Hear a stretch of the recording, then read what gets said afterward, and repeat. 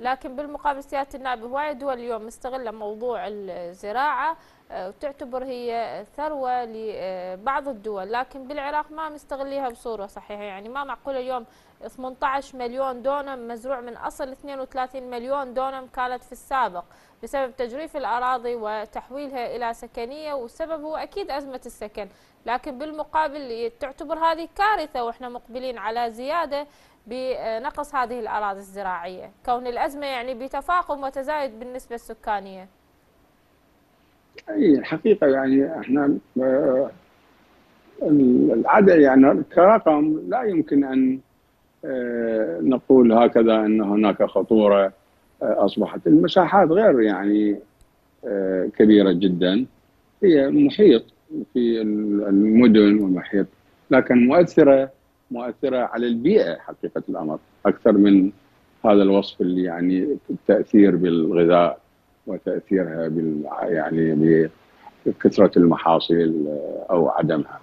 البيئة آه، تتأثر أكثر من لأن هناك بناء وهذا البناء آه، قد يكون فيه آه، يعني مؤسسات صناعية وما تتركه من عوادم في الشارع وفي الجو في المدينة يؤثر على آه، السكان ويؤثر على البيئة والسكن.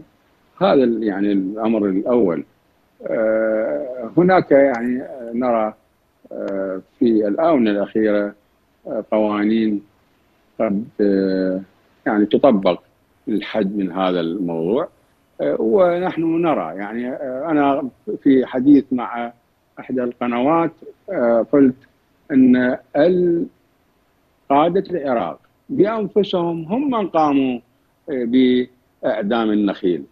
يعني منو من من اكو عراقي لن يرى النخيل الذي يعدم وتسكب عليه آه، يعني الزيت أو النفط كي تموت النخلة ومن ثم يعطي لنفسه هذا المزارع سيادة النائب؟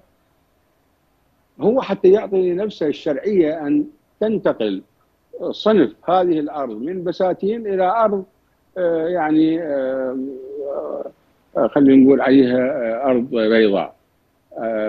وبالتالي يمكن أن يقيم عليها المنشآت والبيوت. يعني وإحنا شايفين يخدم مصلحته الشخصية على حساب المواطن؟ نعم نعم نعم نعم نعم. أنا أقولها وعلى الهواء ومن خلال قناتكم إن الكثير من من لهم شأن بالسلطة اشتروا الأراضي المحيطة في المدن الأراضي المحيطة في البلديات وأسعارها أكيد ستكون أسعار عالية. لذلك